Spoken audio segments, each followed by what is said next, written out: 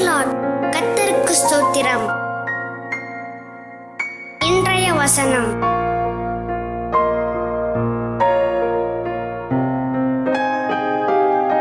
ஒன்று குருந்தியர் ஐந்து ஆறு முதல் எட்டாம் வசனங்கள்.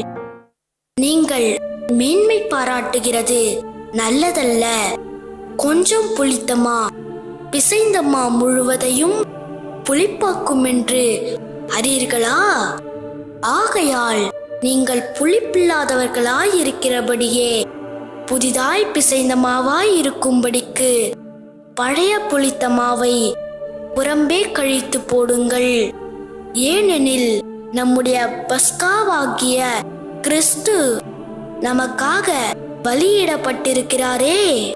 ஆதலால் பழைய புளித்த மாவோடே அல்ல துர்க்குணம் பொல்லாப்பு என்னும் புளித்த மாவோடும் அல்ல துப்புரவு உண்மை என்னும் புளிப்பில்லாத அப்பத்தோடே பண்டிகையை ஆசரிக்க கடவோம்.